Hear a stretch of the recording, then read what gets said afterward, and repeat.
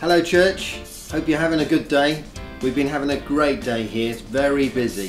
Here on Tuesdays, we have Springers, as you can see, which is quite a lively uh, morning with mums and tots doing all sorts of wonderful things and activities. You can hear them going in the background as we speak now. They have a wonderful time together. And here in the kitchen, uh, you have Enid and Nikki from across the road who come and serve faithfully all each week for Springers. And uh, as you can see, the ladies are doing a great job. Ladies, give us a wave. Come on, there we go. That's it. Yeah, lovely. Thank you. Also, this week, Alpha is going to be happening, and again, it starts up this week. But if you've got someone who you want to bring along, then it's never too late. It doesn't matter what week. If you have somebody who's interested in knowing a little bit more about Jesus, you can bring them along.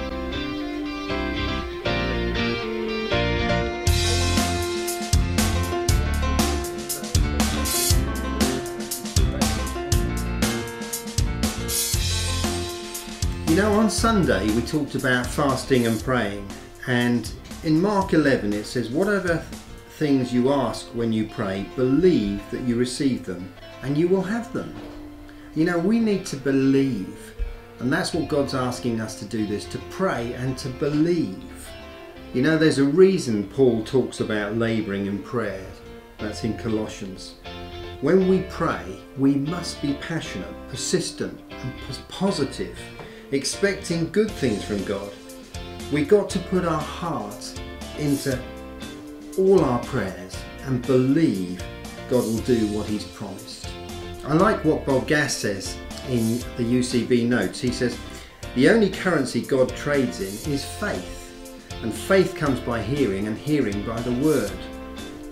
You know, another thing that Bob Gass said in his notes this week, which I really liked, talking about a town, an area where there was a real drought, and everybody got together to pray. And at the church, everything was full, but there's one little girl at the front. She was sat there all beaming and smiling. She had a red umbrella right next to her. And right at the end, he says this um, Look, the congregation, he announced, the rest of us came to pray for rain, but she came expecting God to answer. So, don't just pray, believe. Let's believe what God can do this year.